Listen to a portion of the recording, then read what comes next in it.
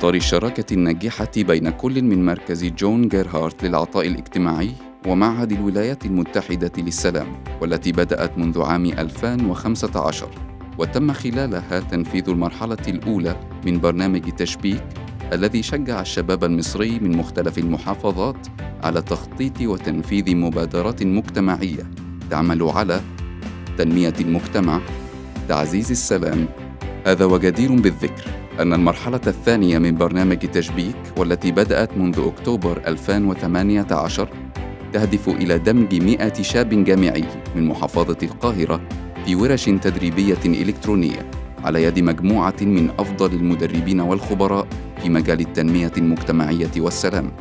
فضلا عن تدريبات وورش عمل تركز على التعريف بمبادئ التفكير السلمي وكيفية حل النزاعات.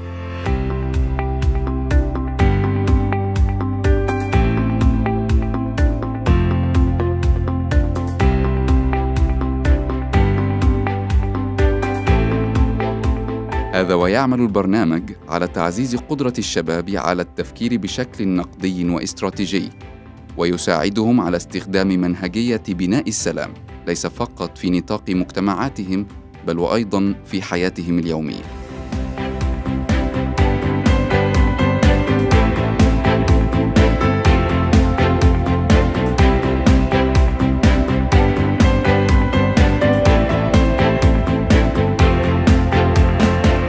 السابع عشر من فبراير تم عقد الاجتماع الافتتاحي للبرنامج بمشاركة اثنان من أعضاء معهد الولايات المتحدة للسلام مع المدربين للاتفاق على المحاور الرئيسية للبرنامج وخطة العمل لتحقيق أكبر استفادة ممكنة للشباب والمدربين والميسرين.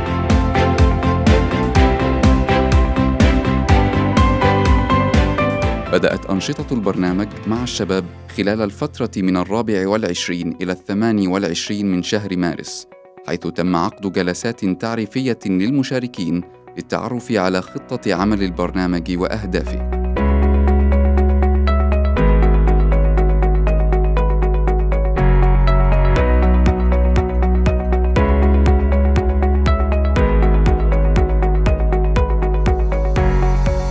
من الرابع عشر إلى الثامن عشر من شهر أبريل تم بدء الجلسات التدريبية للمشاركين.